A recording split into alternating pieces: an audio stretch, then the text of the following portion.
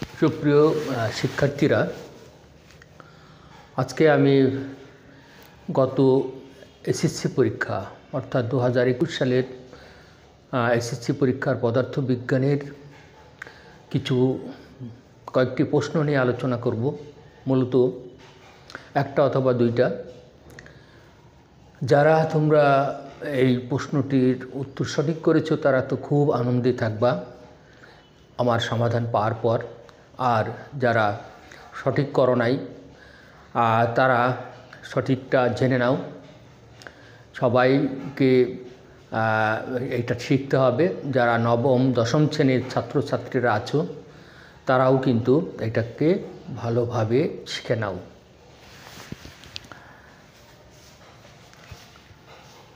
আমরা এখানে গ্রাফে দেখছি মূলত এসএসসির দুই নম্বর প্রশ্নের উত্তর। দুই নম্বর প্রশ্নের উত্তর এসএসসি গত দু হাজার একুশ। দুই নম্বর প্রশ্নের উত্তর, গ্রাফটা, উদ্দীপকের গ্রাফ দেওয়া আছে এই ধরনের। এখানে কি দেখা যাচ্ছে? দেখা যাচ্ছে যে একটা বস্তু, সে এখান থেকে এই পর্যন্ত গেছে, যার বেগ ছিল পাঁচ। হ্যাঁ পাঁচ। তো এখান থেকে এই পর্যন্ত গেছে, তাহলে আমরা জানি এটা সমত্তরণে গেছে। এটা সমত্তরণে গেছে। তারপরে এটা এখান থেকে সমবেগে গেছে। তারপরে এখান থেকে আরও উপরে উঠছে। সেটাও সমত্তরণে গেছে। তারপরে এখান থেকে এটা নেমে আসছে। তাহলে এইভাবে আমরা মনে করি একটা পাহাড়ের রাস্তা। হ্যাঁ যেখানে ও এতে আমরা দেখছি এ, এখানে আমরা করে নিচ্ছি এ এখানে বি আর এখানে হলো সি আর এইখানে হলো ডি আমরা নয়ে ডি এখানে বলা হয়েছে, পাঁচ সেকেন্ডে বস্তুটি কত দূরত্ব যাবে? হুম? পাঁচ সেকেন্ডে বস্তুটি কত দূরত্ব যাবে? হ্যাঁ? আমাদের প্রশ্নটা যদি আমরা বলি find the distance travel by the object in five second পাঁচ সেকেন্ডে বস্তুটি কত দূর যাবে, তাহলে আমরা যদি করতে চাই, তাহলে এখান থেকে এখানে কত দূর গেল, তারপর এখান থেকে এইখানে কত দূর গেল, এই দুটো যোগ করলেই কিন্তু হয়ে যাচ্ছে। তাহলে আমরা ও এ এই ডিস্টেন্সটা ও এ যেতে, দূরত্ব আমরা এস ওয়ান বলি তাহলে এখানে কি সমত্তরণে যদি যাই, তাহলে আমাদের কি হবে? একটা সূত্র আছে ইউ প্লাস ভি আদিবেগ plus শেষবেগ by by two into T কারণ হলো, এখানে ত্বরণ দেয়া না থাকলে S equal to U T plus half A T square এই সূত্র ইউজ করা যাবে না। আমরা তাহলে U plus V by two into T এটাও কিন্তু বস্তু যখন সমান্তরণে চলে, তখন তার সূত্র। আমরা এখানে কি দেখতেছি? যে আদিবেগ হলো শূন্য। হ্যাঁ আদিবেগ শূন্য। আদিবেগ শূন্য বসাই দিলাম। শেষ বেগটা কত? আমরা এইখানে পাঁচ। তাহলে শেষ বেগ হলো পাঁচ আর বাই টু আর। এখানে সময়টা কত? এইখান থেকে এই পর্যন্ত গেছে কত? এইখান থেকে এই পর্যন্ত দুই সেকেন্ড। তাহলে দুই সেকেন্ড দুই দিয়ে আমরা গুণ করছি। তাহলে এই দুই এই দুই কাটা যায় ইকুয়াল টু পাঁচ মিটার। এটা পাঁচ মিটার হলো। আমরা পরবর্তী বস্তুটি কিন্তু এ, বি দূরত্ব। তাহলে এ, বি দূরত্ব যদি যাই হ্যাঁ এ, বি দূরত্ব। দূরত্ব যেতে কী হবে? আমরা সম্পূর্ণ লিখছি লিখছি না। এই বি দূরত্ব যেতে সেই বস্তুটি দেখা যাচ্ছে সমবেগে যাচ্ছে। হ্যাঁ? In this the distance A B the object travel in an uniform acceleration velocity আমরা যদি এটা করি, তাহলে আমরা দেখতে পাচ্ছি এস টু ইকুয়াল টু আমরা জানি S equal to VT VT S equal to VT যদি সমবেগে কোনো বস্তু যায়, তাহলে তার সূত্র হবে এস ইকুয়াল টু ভিটি এখানে আমরা ভিটা কত দেখছি? ভি কত দেখছি এখানে? পাঁচ পাঁচ দেখছি, পাঁচ। টি কত দেখছি এখানে? এখানে টি টিটা কত দেখছি এখানে? এইখান থেকে এই পর্যন্ত। তাহলে কত? এইখান থেকে এইটা বাদ যাচ্ছে। এখান থেকে এই পর্যন্ত গেছে দুই। তাহলে পাঁচ, আবার পাঁচ। তাহলে কত থাকে? এখানে আমরা তিন দিয়ে গুণ করব হ্যাঁ? কত? তিন দিয়ে। কেন? এটা হলো, সময়টা হলো পাঁচ মাইনাস দুই। কেন? দুই সেকেন্ড। এই পর্যন্ত এটা বাদ যাবে। তিন সেকেন্ড, তাহলে এটা হলো পনেরো মিটার। তাহলে মোট দূরত্ব, তাহলে পাঁচ সেকেন্ডে পাঁচ সেকেন্ডে যাচ্ছে, পাঁচ সেকেন্ডে যাচ্ছে, তাহলে মোট দূরত্ব হবে, মোট দূরত্ব হবে S one plus S two সমান এস ওয়ান কত? পাঁচ, আর এস টু হলো পনেরো সমান সমান বিশ মিটার। আমরা এখানে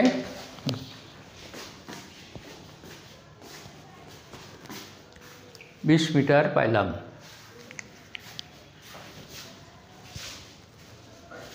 এখন আমরা তাহলে এইখান থেকে, এখানে যেতে, এখান থেকে, এখানে যেতে বস্তুটা কত? কত দূরত্ব অতিক্রম করেছে? বিশ মিটার দূরত্ব অতিক্রম করেছে। তাহলে এই পাঁচ সেকেন্ডে টোটাল ডিস্টেন্সটা সে ট্রাভেল করেছে টোয়েন্টি মিটার তা আমাদের গ প্রশ্ন, এটা শেষ, যারা তোমরা করতে পারছ, তারা তো খুব আনন্দ, উল্লসিত হয়ে উঠেছ। আর যারা করতে পারোনি, তারা শিখে নাও। যারা নবম, দশম শ্রেণীতে পড়ো, তারাও ঠিক এইভাবে করতে হয়। এখানে সময়টা, এখানে সময় এস ইকুয়াল টু ভিটি আমি করলাম। সময়টা অনেকে ভুল করে, যে এখান থেকে এই পর্যন্ত দুই সেকেন্ডে গেল, তারপরে পাঁচ সেকেন্ড যেতে হলে কি হবে? এইটা থেকে এটা বিয়োগ করতে হবে। ওকে? এরপরে আমরা বলেছে যে এখানে আরেকটা প্রশ্ন আছে, যে তরণ বনাম, সময়ের গাপ অঙ্কন করো। তরণ বনাম সময়ের গ্রাফ অঙ্কন করতে হবে আমাদের। আমরা এই তরম বনাম সময়ের গ্রাফটা কীভাবে অঙ্কন করব সেটা আমরা দেখছি যে এইখানে কীভাবে ঘটছে যে আমাদের প্রথমে এটা ত্বরণ বের করে নিতে হবে, তাই না? ও এর অংশের ত্বরণ কত হবে? ও এর ত্বরণ, কত হবে? ও এ অংশের ত্বরণ ও এ অংশের ত্বরণ। আমরা ত্বরণ সমান শেষ বেগ মাইনাস আদি বেগ বাই সময়। আমরা শেষ বেগ আর আদি বেগ সময়। শেষ বেগ কত হয়েছে এখানে? তাহলে আমরা ত্বরণ এখানে এ ওয়ান করে নিলাম। ত্বরণ এ ওয়ান করে নিলাম। শেষ বেগটা হলো, আমাদের হলো এই শেষ বেগ হ্যাঁ? তাহলে পাঁচ আদিবেগ কত? শূন্য। সময়টা কত? দুই। এখানে সময়টা হচ্ছে কত? দুই সেকেন্ড। তাহলে আমরা করে নিলাম। কোন সূত্র গেল? A equal to V minus U by T that is কত হয়? Two point five metre per second square two point five metre per second square এইখানে আমাদের ওয়ে অংশের ত্বরণটা হলো। আমরা জানি এটা ওয়ে অংশের ত্বরণ, সমত্বরণে চলছে সে। তাহলে আমরা এরপরে এ টুটা বের নিব আর একটা আছে, এ টু। এ টুটা আমরা চলছি যে এবি অংশে তার কত ত্বরণ হবে। এবি অংশের কি ত্বরণ হয়? এবি অংশের ত্বরণ। এবি এবি এর অংশের ত্বরণটা কত? এবি অংশের ত্বরণ। আমরা জানি কোনো বস্তুর যদি বেগের পরিবর্তন না হয়, তাহলে সেখানে ত্বরণ সৃষ্টি হতে পারে না।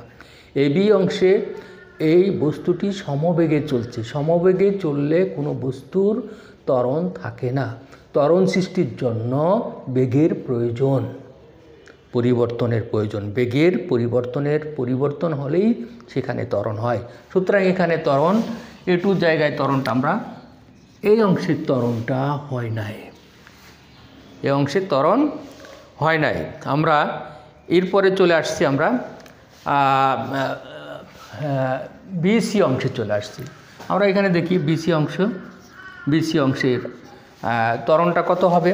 একটু কঠিন আমরা এখানে যদি এ থ্রি বলি, এ থ্রি বলব। আমরা এখানে, এই সোজা যাচ্ছে, এখানে ছয় না? কিন্তু এইখান থেকে ধরে নিতে হবে। তাহলে সাত মাইনাস কত?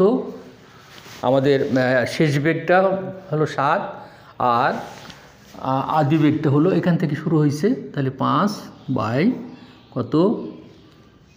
সময়ের টিটা কত হবে? টি সাত, এইটা, এখান থেকে এটা, বাদ গেলে ওয়ান, তাহলে কত? পাঁচ, two metre per second square. এটা এ হলো তার টু মিটার। এ ফোরটা কত হবে? এ ফোরটা। এইখান থেকে বিসি তাহলে সিডি অংশের ত্বরণ কত হবে? সিডি তাহলে সিডি অংশের ত্বরণটা আমরা বের করি। সিডি অংশের ত্বরণ, এ ফোর। সিডি অংশের ত্বরণ কী হবে? এখানে আদি বেগটা হলো শূন্য, শেষ বেগ শেষ বেগ শূন্য হ্যাঁ? আর আদি বেগ হলো সাত। আমরা সাত বাই, এখানে সময়ের পার্থক্য আমরা দেখছি, কত? শেষ বেগ কত? শূন্য। সিডি অংশ, শেষ বেগ শূন্য। তাহলে আদি বেগ কত ছিল? ছিল? আমাদের ছিল সাত ছিল, সেই সাত দিলাম। আর সময়টা ব্যবধান কত? সময়ের ব্যবধান হলো এখানে তিন। তিন।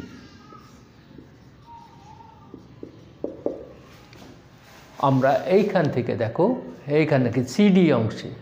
তাহলে সিডি অংশ মানে হলো এখানে আদিবেগ আমাদের ইয়ে হয়েছে, শূন্য শেষ বেগ শূন্য হয়ে গেছে এখানে, এই যে শূন্য হয়েছে। আর আদিবেগটা হলো সাত, আর আদিবেগ সাত, আর সময়ের ব্যবধান দেখো এখান থেকে, সাত, তিন। হ্যাঁ তিন। তাহলে আমরা এটা বলব। সাত মানে মাইনাস সাত বাই তিন, এইটা যদি আমরা ক্যালকুলেট করি two point three three minus two point three three metre per second square. তাহলে গ্রাফটা কী ধরনের হবে? আমরা যদি গ্রাফটা করতে চাই, তাহলে আমরা আবার সেই ইয়ে নেব। এই ধরনের একটা গ্রাফ আঁকবো, বা আমরা এখানে এটা মুছেই ফেললাম।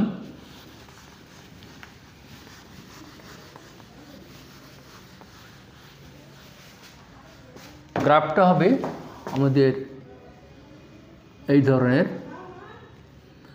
আমরা এখানে সেই আগের মতো জাস্ট এক,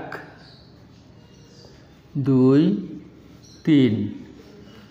এখানে আমরা জিরো ধরলাম, তারপরে minus one, minus two, minus three. এইটা হলো। তো যেহেতু মাইনাস কেন নিয়ে আসলাম? এখানে মাইনাস আছে। তাহলে আমরা এখানে গ্রাফটা দেখি যে এখান দিয়ে দুই দিব। এখান থেকে এক, দুই, তিন, চার, পাঁচ, ছয়, সাত, আট। আমরা এটা মুছে দিলাম সবগুলো। তাহলে গ্রাফটা কি হবে? গ্রাফটা দুই সেকেন্ডে আড়াই। আমরা এক, দুই, তিন, চার, পাঁচ ছয়, সাত, আট। এখানে কি হয়েছে দুই সেকেন্ডে আড়াই হয়েছে আমরা দুই সেকেন্ড নিব, আড়াই বলতে আমরা এইখানে ধরব। এই। তারপরে দেখা যাচ্ছে শূন্য হয়ে গেছে, তাই না? এই টুটা শূন্য, আমরা একটু ইতে যাব। আমরা জাস্ট ইতে রাখব। আমরা পাঁচের থেকে আবার শুরু করব। পাঁচে কত? এটা দুই। আমরা দেখছি যে পাঁচে যখন যাচ্ছে, সেটা হলো দুই হচ্ছে। পাঁচে যখন যাচ্ছে, আবার দুই হবে। হ্যাঁ? এই দুই। তারপরে এইখান থেকে আমরা এইভাবে গ্রাফটা আসবে, ছয়। তারপরে নিচে নামবে হ্যাঁ? নিচে নামবে। নিচে কত? টু পয়েন্ট থ্রি থ্রি আমরা টু পয়েন্ট থ্রি থ্রি বলতে একটু বেশি, আমরা অত পরিষ্কার করে দেখাতে পারছি না টু পয়েন্ট থ্রি থ্রি আমরা যদি একটু ইয়ে করে দিই, ঠিক এই এইভাবে গ্রাফটা হতে পারে হ্যাঁ? এইভাবে উঠে আবার এইভাবে নামবে হ্যাঁ? এই, তাহলে মূল জিনিসটা হলো এইভাবে গ্রাফ, যারা তোমরা আঁকতে পারছ, যারা তোমরা আঁকতে পারছ, তাদের সঠিক হয়েছে হ্যাঁ? তারা চারে চার পাবা পাইবা। আমরা এখানে দেখছি যে কি হলো? যে দুই সেকেন্ডে এত, তারপরে এটাকে শূন্য হয়েছে, প্রথমটা যেহেতু সমবেগে ছিল, তারপর এখান থেকে আবার উপরে উঠছে আবার ওইটাকে আবার নিচে নেমে গেছে। মানে নেগেটিভ ত্বরণ হয়েছে বা মন্দন হয়েছে রিটার্ডেশন হয়েছে সুপ্রিয় শিক্ষার্থীরা, আজকে আমরা যে প্রশ্নটা আলোচনা করলাম, এই প্রশ্নটার যে ব্যাখ্যা, এই ব্যাখ্যা এখান থেকে আমরা পরি পরিপূর্ণভাবে দিতে পার- পার- পারলাম না, যেহেতু সময়ের অভাবে আরও বর্ণনা করা যাইতো। তা এইটা তোমরা এই ধরনের প্র্যাকটিস করবা। আগামী দিন আমি কিন্তু আরেকটা নিয়ে প্রশ্ন নিয়ে আলোচনা করব। সেটা হলো আরেকটাও গ্রাফ এসএসসি পরীক্ষার গ্রাফ ঢাকা বোর্ডের, সেটা হলো তিন নাম্বার। আগামী দিন আমরা তিন নাম্বার প্রশ্ন করব। কিন্তু তোমাদের গ্রাফ সম্বন্ধে অনেক নলেজ রাখতে হবে। এখানে কি হচ্ছে? প্রথমে সমত্তরণে কীভাবে যায় ওঠে তারপরে সমবেগে গেল, তারপরে আবার সমত্তরণে গেল, আবার নিচে নামতেছে। এই জিনিসগুলো ভালো করে শিখতে হবে। থ্যাংক ইউ ভেরি মাচ তোমরা সবাই এই চ্যানেলটা সাবস্ক্রাইব করে নাও এবং এইখানে যারা তোমাদের জানে না, অনেকজন গ্রামের বন্ধু আছে হ্যাঁ দরিদ্র বন্ধু, তাদের কাছে শেয়ার করে দাও। যেন ভিডিওটা তারা দেখে কিছু শেখে। সবাইকে ধন্যবাদ। Thanks a lot for being with me please subscribe this channel আসসালামু আলাইকুম।